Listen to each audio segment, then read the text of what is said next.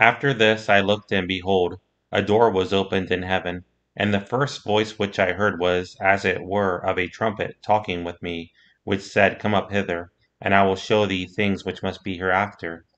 And immediately I was in the Spirit, and behold, a throne was set in heaven, and one sat on the throne. And he that sat was to look upon like a jasper and a sardine stone, and there was a rainbow round about the throne, in sight like unto an emerald. And round about the throne were twenty four seats, and upon the seats I saw twenty four elders sitting, clothed in white raiment, and they had on their heads crowns of gold. And out of the throne proceeded lightnings and thunderings and voices. And there were seven lamps of fire burning before the throne, which are the seven spirits of God.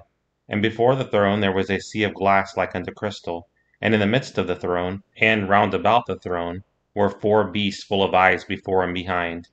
And the first beast was like a lion, and the second beast like a calf, and the third beast had a face as a man, and the fourth beast was like a flying eagle. And the four beasts had each of them six wings about him, and they were full of eyes within, and they rest not day and night, saying, Holy, holy, holy, Lord God Almighty, which was, and is, and is to come.